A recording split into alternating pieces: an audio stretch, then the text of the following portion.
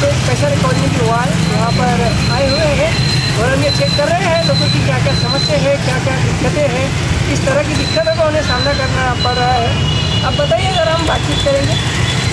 तो हमारे को बहुत गंदा पानी आ रहा रात दिन हम पानी नहीं पी सकते, हमारे को इतनी बास आ रही, पानी में तो गोबर की बास आ रही। पूरी वो वहाँ से तो कोने से लेके तो यहाँ तक गंदा पानी। हमारे दरबारा घर को पानी, गंदा पानी आ रहा है एकदम। अब हमने क्या करना? क्या घाटी में जाके शरीक होना क्या पानी पी पी के? तो इससे इसके पहले क्या एप्लीकेशन दिए आपने किसी को बातचीत की या कोई वार्ड अधिकारी आपके पास कोई बातचीत के लिए आया? कोई भी नहीं आए थे। इससे पहले दो अब साल दो साल हो गए न्याल बहने करके दिए थे। इतना गंदा निकला था उसके अंदर से। जब से नहीं तो अब हर वैसी चोरा। और वैसी प्रॉब्लम हो रहा। है। हाँ यहाँ डिम्मी है। सब गंदा पानी नीचे उतार के आता हमारे को इतना गंदा पानी हम लोगों के घर से पानी ला के पी ले तो आप क्या चाहते हैं? महापालिका प्रशासन से क्या चाहते हैं? अब क्या चाहते बोले तो ये पाइपलाइन वहाँ देखना वहाँ से आओ पूरे डेनिस का पानी है गोबर का पानी है क्या काय का है? हमको लोगों को बहुत तकलीफ़ है। जो लोगों की हमने तकलीफें देखी काफ़ी कुछ सुनने को मिला तो मैं ये चाहूँगा प्रशासन से कि ये लोगों का जल्द से जल्द महापालिका की तरफ़ से काम किया जाए।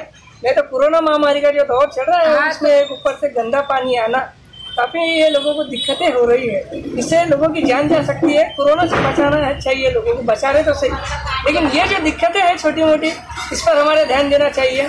मैं यही चाहूँगा, कोरोना महामारी से लोगों को बचाने की जो तैयारी की जा रही है, लोगों को बचाया जा रहा है। लेकिन ये जो गंदे पानी की जो समस्या है, ये जो लोगों को है कि क्या कोरोना से लोगों को बचाया जा रहा है या लोगों को कुछ उसमें मारा जा रहा है? ये बहुत गंभीर विषय है, गंभीरता से सोचने की। चाहे हम कोरोना के लिए लाखों वैक्सीन की व्यवस्था कर लें चाहे कुछ भी कर। लें पहले हमें ये भी समस्या को दूर करना पड़ेगा, तब जाके वो कोरोना महामारी की जो समस्या है, वो दूर होगी। हमें इस पर ध्यान देना पड़ेगा।